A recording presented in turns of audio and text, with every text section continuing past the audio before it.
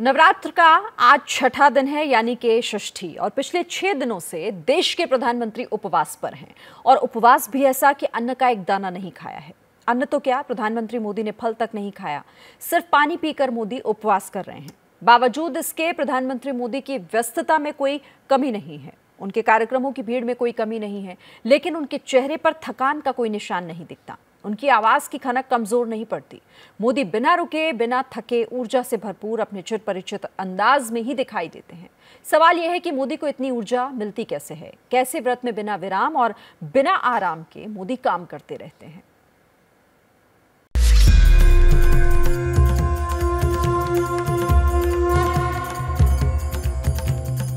बोल मारी माँ।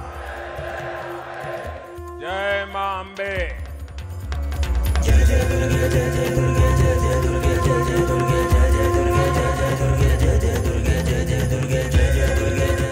माता के दर्शन करने के लिए। एक प्रकार से मैं कहूँ तो माँ की गोद में ही हमारी ज़िंदगी बीती है।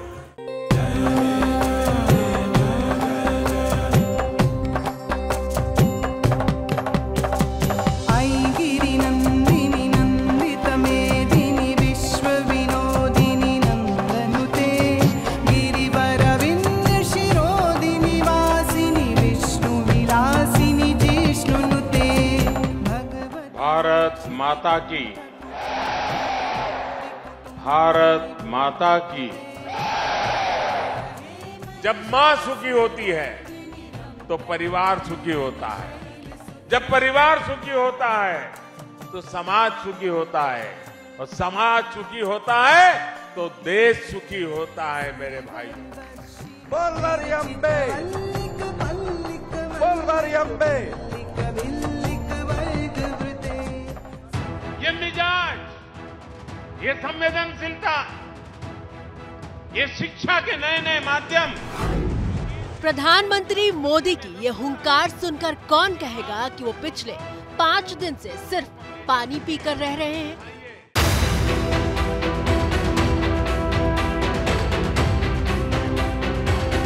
एक के बाद एक पीएम मोदी के ताबड़तोड़ कार्यक्रमों को देखकर कौन कहेगा कि वो बिना अन्न के चलते जा रहे हैं।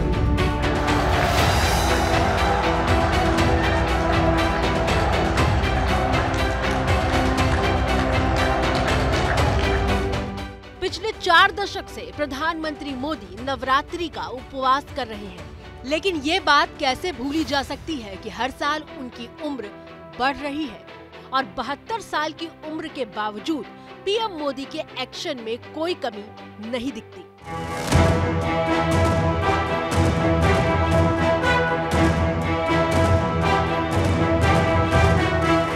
लगभग हर साल नवरात्रि के दौरान उनके उपवास पर देश में ये चर्चा शुरू हो जाती है कि आखिर मोदी बिना अन्न खाए, बिना नमक ग्रहण किए सिर्फ़ नींबू पानी पीकर इतने ऊर्जावान कैसे दिख पाते हैं? ये चर्चा इसलिए शुरू होती है क्योंकि ये साधारण बात नहीं है और इस बार तो पीएम मोदी ने और हैरान कर दिया है। नवरात्रि का उपवास है और उन्होंने एक दिन के भीतर सात सात कार्यक्रमों में शिरकत की, वो भी चेहरे पर बिना किसी शिकन के। 30 सितंबर को प्रधानमंत्री मोदी अपने दो दिन के गुजरात दौरे पर थे और उनके दौरे का दूसरा दिन था।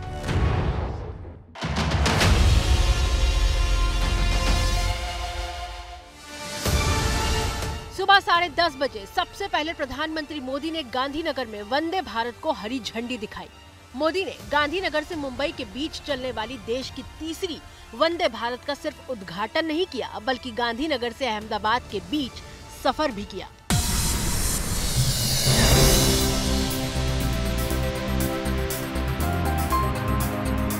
सफ़र के साथ साथ तमाम सुविधाओं की जानकारी ली और ट्रेन में चालक दल से बातचीत भी की।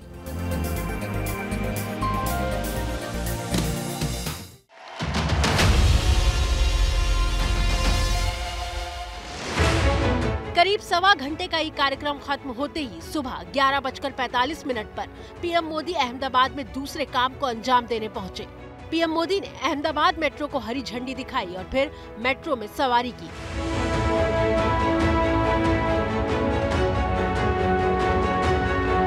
मेट्रो में सफ़र करते हुए मोदी ने छात्राओं से बातचीत की और मेट्रो में मौजूद यात्रियों से भी मुलाकात की।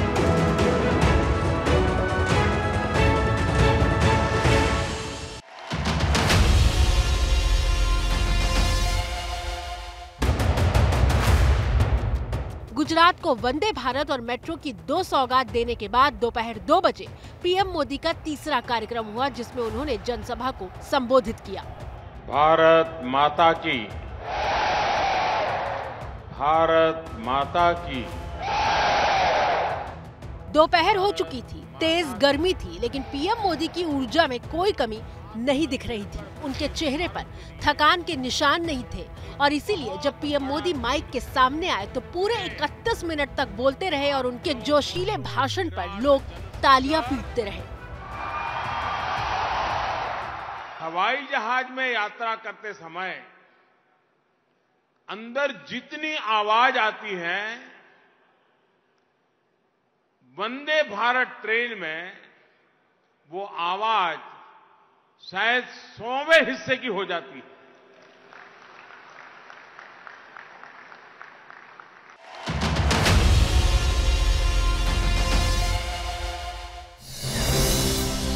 दिन के कार्यक्रम निपट गए, लेकिन खत्म नहीं हुए थे। अब शाम के कार्यक्रमों की बारी थी। शाम साढ़े छह बजे प्रधानमंत्री मोदी का अंबाजी में रोड शो होना था।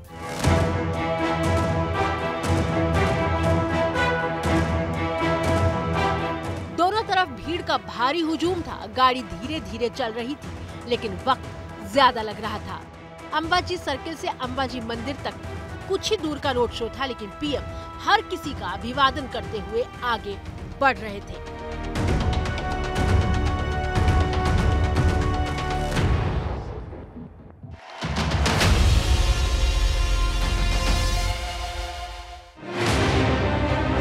करीब दो घंटे बाद, यानी रात साढ़े आठ बजे पीएम मोदी के पांचवे कार्यक्रम का वक्त हो चुका था। प्रधानमंत्री मोदी ने अम्बा जी के मंदिर में दर्शन और पूजा की।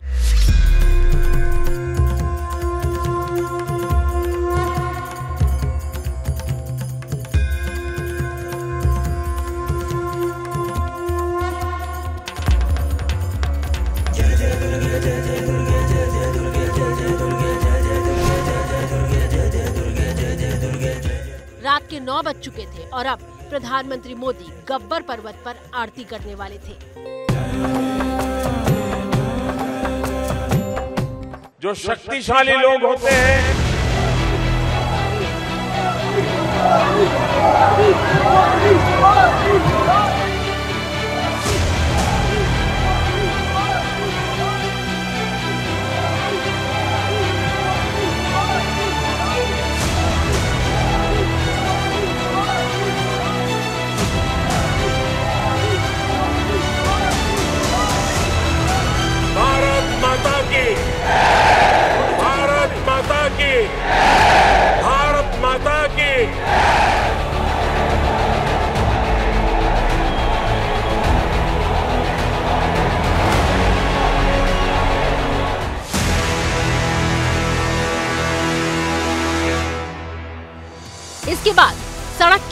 प्रधानमंत्री गुजरात के अंबाजी से सीधे राजस्थान के आबू रोड के लिए रवाना हुए।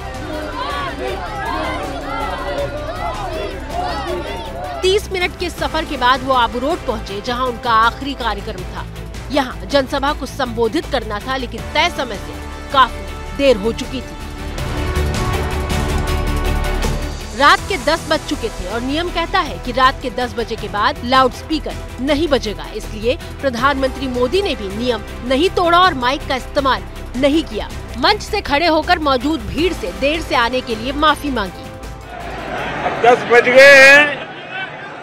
मेरी आत्मा कहती है कि मुझे कानून नियम का पालन करना चाहिए और इसलिए मैं आप सबकी क्षमा माँगता हूँ। लेकिन मैं आपको विश्वास दिलाता हूँ कि मैं दोबारा यहाँ फिर से आऊँगा।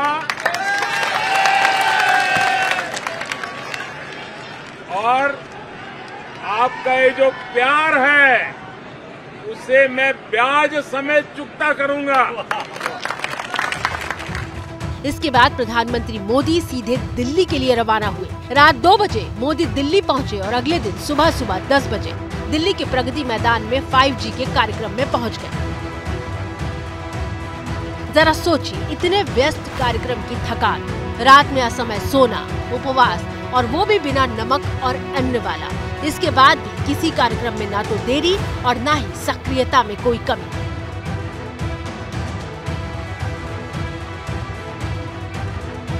साल 2019 के लोकसभा चुनाव से पहले एबीपी न्यूज़ को इंटरव्यू देते हुए पीएम मोदी ने बताया था कि चैत्र से ज़्यादा शारदीय नवरात्रि उनके लिए कठिन होती है। करीब चालीस पैंतालीस साल से करता हूँ तो मेरी कोशिश रहती है लेकिन मैं जमा लूँगा मामला। प्रधानमंत्री मोदी ने ये भी बताया था कि शारदीय नवरात्रि कठिन क्यों होती है? सितंबर अक्टूबर में जो नवरात्रि होती है उसमें मेरा थोड़ा समय अपना व्यक्तिगत साधना वगैरह में थोड़ा जाता है। इसमें, उसमें मुझे उतना समय नहीं देना पड़ता है तो इसका मेरा टाइम टेबल थोड़ा अलग होता है। उसमें मैं सिर्फ़ पानी लेता हूँ और कुछ लेता नहीं। इसमें ऐसा नहीं है। इसमें मैं, मान लीजिए मैं तय करूँगी, इस नवरात्रि को मैं पपीता लूँगा तो फिर मैं पपीते के सिवाय किसी चीज़ को हाथ नहीं लगाता हूँ। तो कैसे एक चीज़ तय करता हूँ? पीएम मोदी दोनों नवरात्रि में उपवास पर रहते हैं। चैत्र और शारदीय नवरात्रि का उपवास होता है। चैत्र नवरात्रि में पानी और एक टाइम फल खाते हैं, जबकि शारदीय नवरात्रि में सिर्फ़ पानी पीकर उपवास करते हैं। प्रधानमंत्री ने खुद बताया था, किसी और ने नहीं बताया था कि जब वो इलेवेंथ में थे, पहली बार उन्होंने व्रत उस समय रखना शुरू किया था और कुछ खाते नहीं हैं। खाने के नाम पे कुछ नहीं खाते हैं, फ्रूट्स भी नहीं खाते हैं। सुबह में वो गर्म पानी में शहद डाल के पीते हैं। फिर शाम में दोपहर में एक बार वो नींबू पानी, गर्म पानी में नींबू डाल के पीते हैं उसके बाद वो दिन भर काम करते हैं। बिना किसी विराम और आराम के उपवास में नॉन स्टॉप कार्यक्रम सिर्फ़ एक दिन की कहानी नहीं है। पीएम मोदी पूरे नौ दिन तक इसी तरह काम करते हैं। दिल्ली बीजेपी ने ट्विटर हैंडल पर एक वीडियो शेयर करते हुए पीएम मोदी के 100 घंटे का ब्यौरा पेश किया है।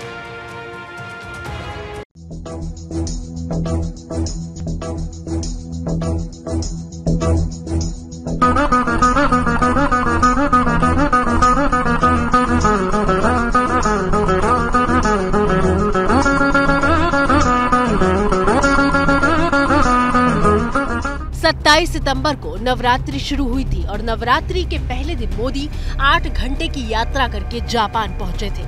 बारह घंटे तक जापान में व्यस्त कार्यक्रम रहा। आठ घंटे की यात्रा करके रात में दो बजे वापस भारत पहुँचे थे।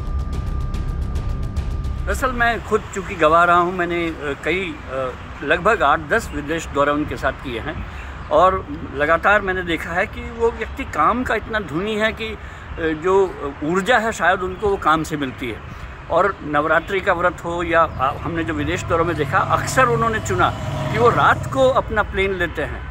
तो पूरी रात उनको सफ़र करना, फिर दिन भर उनको काम करना। नींबू पानी पीकर वो अपना समय बिताते हैं और नौ दिन का व्रत पूरा करते हैं। और उसी ऊर्जा के दम पर वो सार्वजनिक कार्यक्रमों में भी हिस्सा लेते हैं। पिछले तीन दिनों में जो उनके कार्यक्रम रहे वो इसका सबसे बड़ा प्रतीक है, जो अहमदाबाद से शुरू होता है, भावनगर, सूरत से चालू होता है और दिल्ली के प्रगति मैदान में खत्म होता है। तो ये लगातार उनके जो किए गए काम, ये बताता है कि शक्ति में भी बहुत ऊर्जा होती है।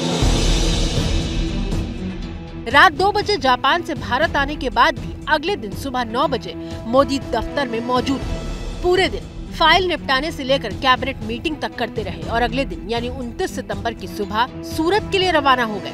सुबह दस बजकर चालीस मिनट पर सूरत में रोड शो किया। दोपहर ढाई बजे भावनगर में रोड शो किया। शाम साढ़े सात बजे राष्ट्रीय खेलों का आगाज़ किया और रात दस बजे आरती में हिस्सा लिया। ये सिलसिला रुका नहीं, चलता रहा और चल रहा है। उपवास पूरा होने तक यूँ ही चलता रहेगा। प्रधानमंत्री मोदी ने 2012 में अपने ब्लॉग में नवरात्रि के उपवास के बारे में पहली बार ज़िक्र किया था। मोदी ने लिखा था कि उपवास उनका वार्षिक आत्मशुद्धि व्यायाम है, जो उन्हें हर रात अम्बे माँ के साथ बातचीत करने की शक्ति और क्षमता प्रदान करता है। व्रत के प्रभाव से उन्हें शक्ति मिलती है। दिन भर व्यस्त होने के बाद भी मोदी नवरात्रि में रात के वक्त शक्ति आराधना करते हैं। मोदी के बिना विराम और बिना आराम वाले इस उपवास पर सिर्फ़ देश ही नहीं, दुनिया भी हैरान रह गई थी। जब प्रधानमंत्री बनने के बाद मोदी पहली बार 2014 में सितंबर महीने में अमेरिका पहुँचे थे, तत्कालीन राष्ट्रपति बराक ओबामा ने उनके सम्मान में व्हाइट हाउस में डिनर आयोजित किया था। लेकिन मोदी ने सिर्फ़ गुनगुना पानी पिया था, तब ओबामा भी हैरान रह गए थे और उन्होंने मोदी से इसका राज पूछा था। प्रधानमंत्री मोदी ने इसका श्रेय, योग और ध्यान को दिया था। जैसे ही घड़ी का काटा दोपहर ढाई पे आए, बबीता जी का दिल सास बहू साजिश के लिए मचल जाए। और ये है इनकी बहू। पूरे दिन ऑफ़िस की टेंशन हो जाए, गॉन। जब ये करें अपना फेवरेट शो, फ्री टाइम पे ऑन। इनकी तरह, आप भी देखें अपना फेवरेट शो अपने टाइम पर। और डाउनलोड कीजिए एबीपी लाइव ऐप अपने स्मार्ट टीवी पर।